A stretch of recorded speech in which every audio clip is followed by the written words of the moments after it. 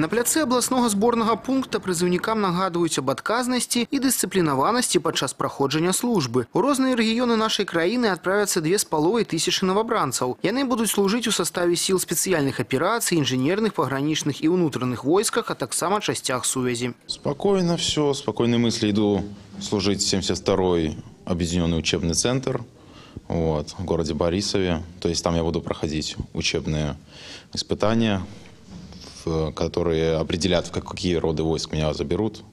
Вот, настрой хороший, все отлично. Есть какие-то предпочтения, где бы хотел проходить службу? Связи, то есть я по образованию вот больше к технике. Мне больше нравится техникой заниматься, да, вот такие связи.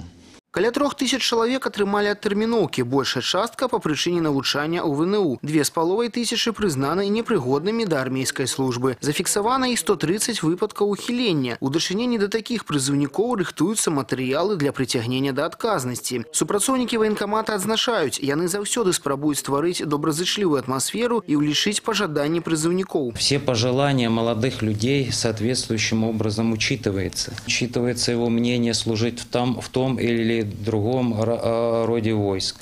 Но мы соответствующую беседу проводим с ними, смотрим состояние здоровья, морально-деловые качества. Все это, все это обобщается. То есть обстановка бла- м, доброжелательная, спокойная.